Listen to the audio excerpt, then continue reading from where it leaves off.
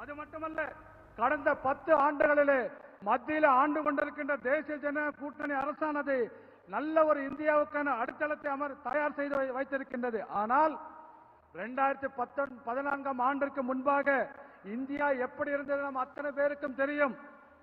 உலகத்தில் மிகவும் பொருளாதாரத்தில் மிகவும் பலவீனமான ஒரு நாடாக நாம் இருந்து கொண்டிருந்தது. அது மட்டுமல்ல அந்த இரண்டாயிரத்தி பதினான்கு முன்பாக மிகப்பெரிய முடிவுகள் இந்த நாட்டில் எதுவும் எடுக்கப்படாமல் இந்த ஆட்சி நடந்து கொண்டிருந்தது. ஆனால் இந்தியாவை பற்றி எங்கு பார்த்தாலும் உலகத்தில் என்ன செய்தி வரும் தெரியுமா?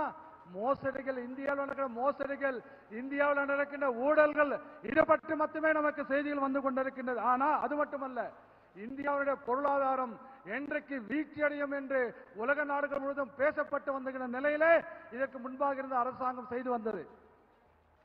वही भारत आज दुनिया की एक ताकत बन करके उभर रहा है।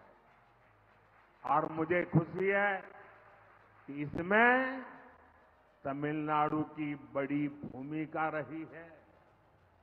भारत को स्पेस सेक्टर में आगे ले जाने में तमिलनाडु का बहुत बड़ा कंट्रीब्यूशन रहा है। भारत को मैन्युफैक्चरिंग में आगे ले जाने में तमिलनाडु का हार्ड वर्क रहा है।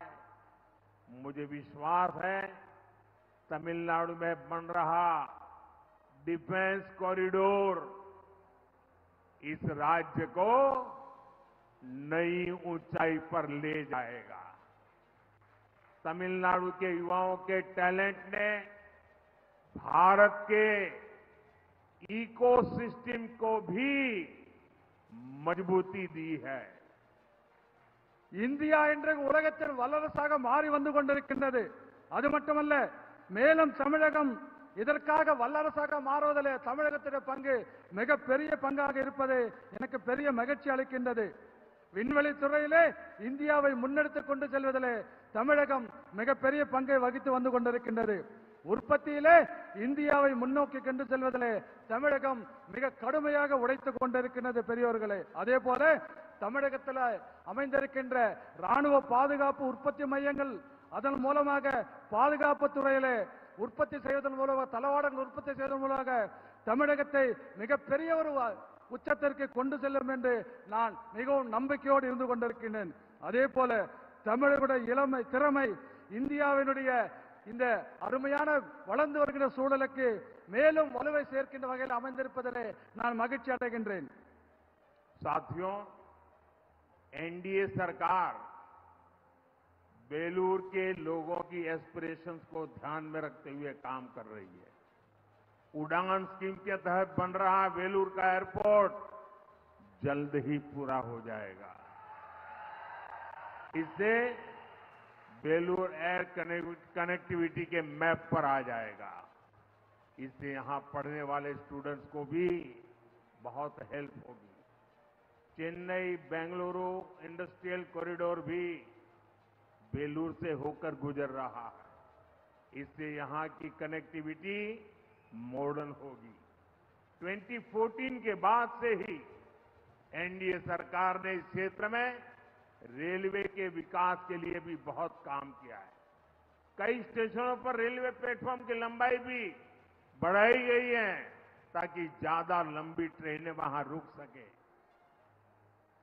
நண்பர்களே வேலூர் மக்களுடைய எதிர்பார்ப்புகள் அதை மனதிலே கொண்டுதான் தேசிய ஜனநாயக கூட்டணியுடைய அரசாங்கம் செயல்பட்டுக் கொண்டிருக்கின்றது அதே போல உடான் திட்டத்தின் கீழே இந்த வேலூர் விமான நிலையம் விரைவில் முடிக்கப்படும் முடிக்கப்படுவது மட்டுமல்ல இந்த வேலூரை இந்திய வரைபடத்திலே விமானம் நிலையம் இருக்கக்கூடிய வரைபடத்திலே கொண்டுகின்ற கட்டாயம் நிச்சயம் சேர்ப்போம் என்று இதன் மூலம் சொல்லிக் கொள்கிறேன். இதன் காரணமாக விமான நிலையம் இங்கு வந்தால் படிக்கின்ற மாணவர்களுக்கு இது மிகவும் உதவியாக உதவியாக இருக்கும் என்று நான் சொல்லிக்கொள்ள ஆசைப்படுகின்றேன்.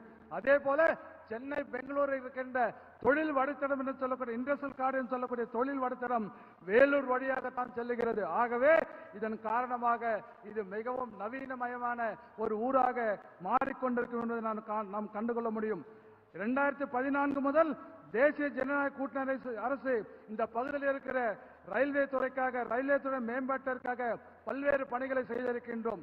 பல ரயில்வே நிலையங்களிலே பிளாட்ஃபார்ம் என்று சொல்லக்கூடிய ரயில் நடைமேடுகிற நீளம் அதிகரிக்கப்பட்டுள்ளது ஆகவே அதிதூர ரயில் பயண ப- வண்டிகள் இங்கே நிற்பதற்கு அது ஏதுவாக இருந்து கொண்டிருக்கின்றது साथियों तमिलनाडु के लिए एक डेवलप भारत का नेतृत्व करने का समय है लेकिन डीएमके तमिलनाडु को पुरानी सोच में पुरानी पॉलिटिक्स में फंसाकर रखना चाहती है।